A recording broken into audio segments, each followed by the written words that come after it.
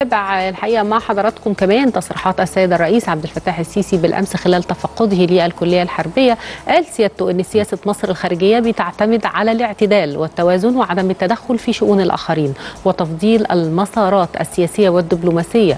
قال فيما يخص الأزمة الصينية سيادته إحنا لينا موقف واضح ومعلن وهو سياسة الصين الواحدة. محتاجين إن الاستقرار يعم في العالم علشان العالم بيعاني كثيرا من أي أزمة بتقع هنا أو هنا. تابع أيضا الرئيس السيسي قال إن برضو زي ما قلت في الأزمة الروسية عناصر الأزمة فيها حاجات كتير لكن إحنا بنحاول يكون دورنا إيجابي ونشجع علشان تتحل الأزمة بالمسار السياسي والدبلوماسي. طبعا بنحاول نزع فتيل أي أزمة وده خط عام بالنسبة لمصر.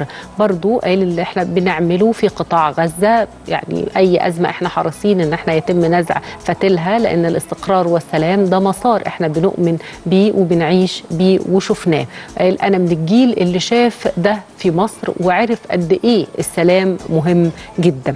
الرئيس تطرق للسياسة الخارجية عموما وموقف مصر بالنسبة لعدة قضايا خاصة بالدول. يمكن هذا التصريح كان بيتناول فيه الأزمة الروسية الأوكرانية الأزمة الصينية بقى المستحدثة اللي إحنا تابعناها الأيام الماضية في خلال الأسبوع الماضي وأزمة غزة اللي تم يعني بدأت إن يبقى في يعني اشتعال الازمه منذ يومين انحياز السياسة المصرية للسلام دائما هو ده الخط الحقيقة اللي إحنا كلنا من يوم ما طلعنا مصر ماشية عليه وما زالت الدولة المصرية بتؤيده موقف مصر الدبلوماسي والسياسي من تلك الأزمات حضرتك شايفه إزاي؟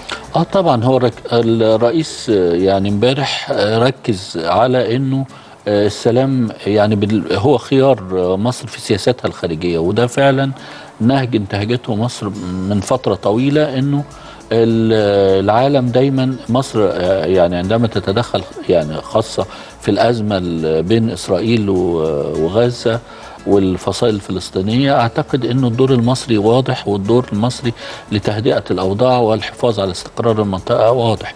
أيضا الرئيس بعث رسالة بالأمس إنه هي مع استقرار العالم وليست مع أي نزاع جديد يحدث خاصة بين الصين وتايوان بعد زيارة نانسي بيلوسي رئيسة البرلمان الأمريكي إلى تايوان وإثارة النزاعات وإثارة القلاقل في هذه المنطقة المهمة من العالم. صحيح. العالم يعني مش يعني مش مستحمل. أزمة جديدة بعد الحرب الروسية الأوكرانية إحنا لسه بنعاني تبعاتها لغاية النهارده.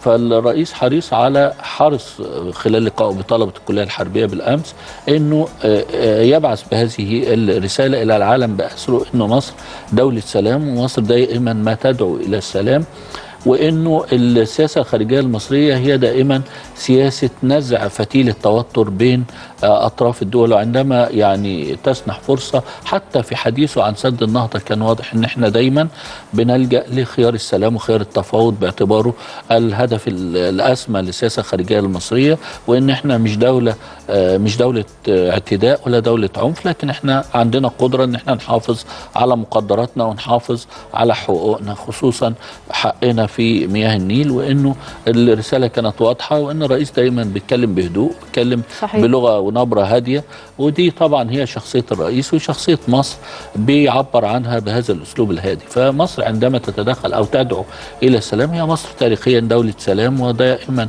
وابدا ما تبحث عن السلام وتدخلها لتهدئة الأوضاع في غزة في العام الماضي عندما وقع الاعتداء الاسرائيلي على غزة في مايو 2021 كان دور مصر رائد ودورها كان مهم جدا في إن هي اللي نزعت فتيل الأزمة وهي اللي حافظت على استقرار هذه المنطقة والان الوفد الأمني بيبحث العودة إلى التهدئة مرة أخرى وإعادة الأمور إلى نصابها والبحث عن استقرار المنطقة مرة أخرى. صحيح.